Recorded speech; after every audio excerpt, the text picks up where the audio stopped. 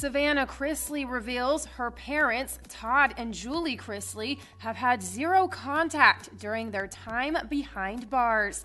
Six months after the Chrisley Knows Best stars reported to prison for tax fraud charges earlier this year, Savannah takes to her Instagram stories on August 1st, captioning throwback images of the couple 195 days without a word to each other. My heart is breaking. Please help to bring justice. Savannah also includes a link to Todd and Julie's new legal defense website.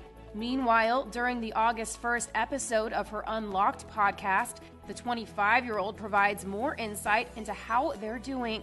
Speaking with the family's lawyer, Alex Little, Savannah debunks tabloid rumors about the reality stars, including this one about her dad. It's hilarious because one of them was like, oh, he's let himself go. First off, newsflash, they don't sell hair color in commissary. so, of course, his hair is gray. But you know what? I would tell him today, like if he was out, keep Yeah. it that way. Like it looks good. He's got a great prison barber. and he's this Puerto Rican guy. He's very kind. He's got tattoos from his face down.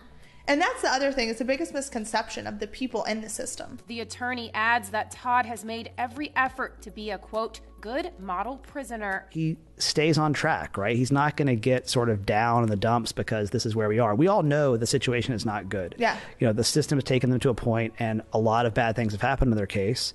But we have an avenue to hopefully get some justice and he's focused on that. But no, uh, there's nothing about the things that are out there sort of in the press uh, Yeah. that are at all consistent with um, what I've observed of Yeah. him and your mother. Part of that optimism comes from Todd and Julie's efforts to appeal their convictions for banks and tax fraud. But he's focused on what he needs to do to win the appeal. He's very, you know, focused on what we're doing uh, when things are happening, keeping track of the process.